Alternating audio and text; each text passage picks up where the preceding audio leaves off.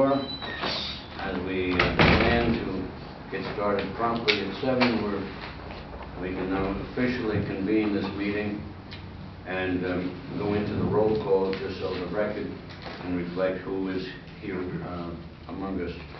We start on the left, who was, Andy, is that you? Andy To my left? I can't even see through the haze. Go ahead. Andy McDonald. Helen Hinkle.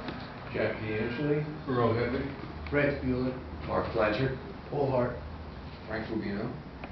And Joe Norca, Chairman. I guess um, Mr. Pittman hasn't arrived in East yet. Okay. By the way, have- Helen, did you hear anything from Pittman? Do we expect him or? or- I saw him yesterday. Oh, yes? And did he say?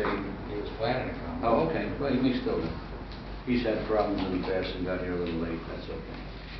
All right, uh, the next order of business is the recognition of the fact that we are absent one member, and that's Joe Martin, who started to talk about Joe a few minutes ago. Um, I found Joe, you know, personally, I didn't know Joe very long. I knew him only the length of time that he served on the board. I knew his brother much, much longer. His brother and I ran for office together. His brother was quite a character with 13 children. Yeah. Uh, I didn't know Joe other than how how he, to the he participated. He all of you remember, he was rather a quiet individual. And you practically had a draw a a response from him. So I really didn't get to know him, but of course, that's unimportant. The fact that we were serving on the same board together, there's a camaraderie that grows from that mere fact. So I was saddened that he was one of our own. It leaves, of course, an opening that's got to be filled. And that, uh, that can't even be filled until there's a resolution of council president's race, because he's intimately involved, along with the uh, chief judge of the city court and the mayor. So anyway, I would like to propose that when we adjourn this evening, we adjourn in the memory of Joe Martin. Anybody have any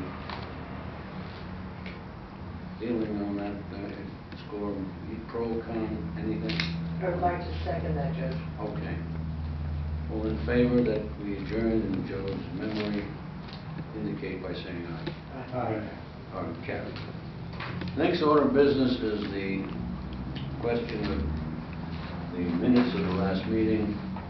If Does anyone here take issue with the minutes? If so, can you read up on Ms. Brown or what? Um, Any objections to it? What was reported those minutes? Did- Were they reported accurately, inaccurately? Anybody have any feelings one way or another?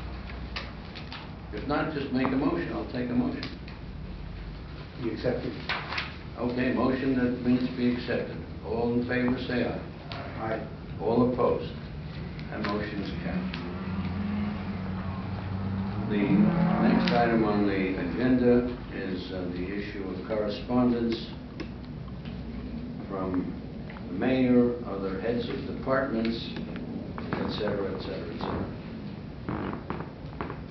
Well, I received some correspondence just last night, late, I got to read it today. That that I I could read, I'm saying, which I could read because they were poor copies, and the adaptive equipment that enables me to read, I don't read with my physical sight, I with my ears. What I mean by that is, a computer, you send me a letter, I put it on the scanner, and a minute later, it starts to read to a robotic voice, but it's got to be a clean copy. A ribbon copy is the best, of course. If it's a second or third or fourth generation uh, copy, or carbon, whatever, it throws it all off. So a good part of what was given to me, I was unable to read, but I certainly got the gist of what was going on here. That's what I was alluding, alluding to uh, earlier tonight when Frank was uh, talking about which correspondence are we discussing. Excuse Does me, everyone Judge, have we have, we also received in our packet a referral Receive what, Helen? In our packet that was mailed. Yes, a what else? referral from the Inspector General regarding finding of the owl, so that's also on the agenda. Oh, okay. Yonkers Alliance for Latino. I didn't get that one then. All right. Any event, um, we have some very hot mail to discuss. Yeah, if you don't mind, just for the record, I'd like to just go through, because I have a stack of correspondences, just so that we itemize, Okay. so that everybody can see what they should have and I- That's and I, I may not even have everything. I think they- But anyway, let me, just okay. identify it. This is a, a- a correspondence, the initial correspondence to Judge Noka and the Yonkers Ethics um, Board members um, From whom?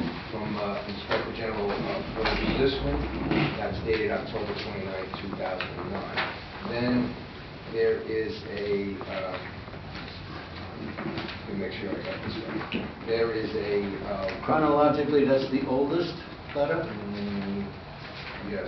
Is it? All right, just want to get the order of things. Go ahead. No, I'm sorry. The oldest are... well, Let me just, let me just give you what I have. take a minute and get them, put them in some kind of meaningful order, so we can consider them uh, in context.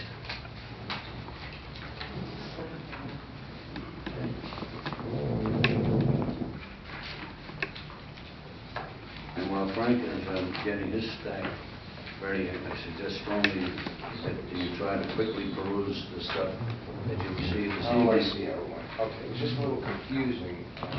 Okay. I don't understand why this date would be later than this date, since this is the response to this, and this is dated October 29th. I think this has to do when you print them out on the computers. This can't be the right date. Um, Maybe I'm wrong. No, please. You should look at the letter rather than the computer thing. Inspection and review has the same date of October 29th, on page seven.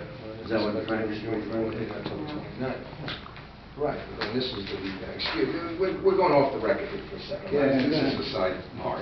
But now this is the letter to Mr. Zisman, which had to be in response to that, and yet it's dated.